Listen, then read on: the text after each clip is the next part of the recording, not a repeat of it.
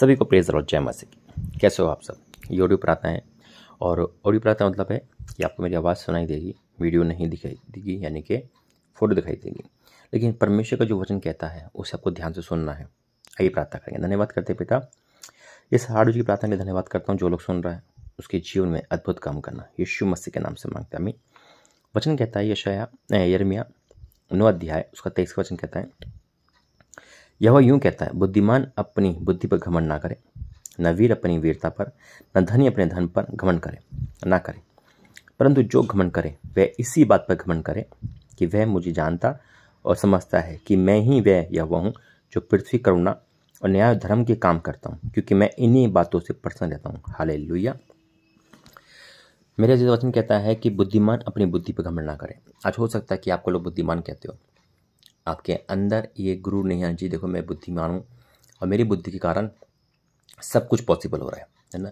मेरी बुद्धि से मुझे नौकरी मिली, मेरी बुद्धि से मुझे कामयाबी मिली, ये घमंड नहीं आना चाहिए। दूसरा, कि ना वीर अपनी वीरता पर। आज हो सकता है कि आप बॉडी में, है ना लैंग्वेज में अच्छे हो और ताकत आपके पास है, लेकिन इस पर भी घमंड नहीं करना, क्योंकि क्योंकि ये भी नाश हो जाएगा, है ना? ना वीर अपनी वीरता पर घमंड करें। ना धनी अपने धन पर घमंड करें।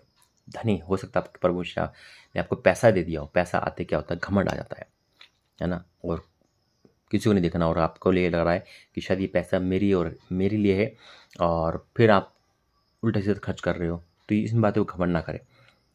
घमंड किस पे करना है? परंतु जो घमंड करे, वह इसी बात पर घमंड करे कि वो जानता और समझता है क्या बात है।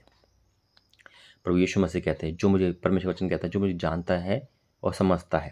हाले जब हम किसी बड़े इंसान को जानते हैं तो एक प्राउड फील होता है, अरे, मैं उसको जानता हूँ, है ना?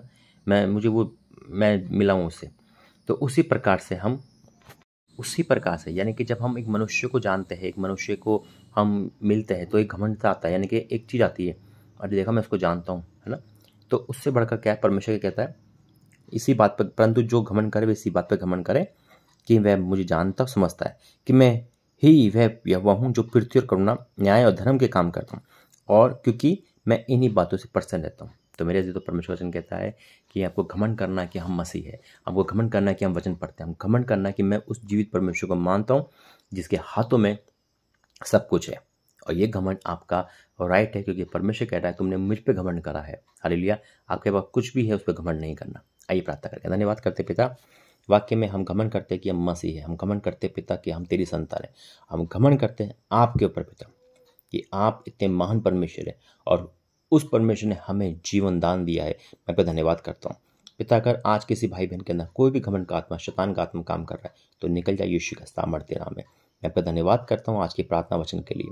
पिता, आज के वचन के लिए द्वारा तेरा धन्यवाद हो। यीशु मसीह के नाम से मांग दे आमीन। God bless you. जय मसीह की। प्रभु का आशीष दे।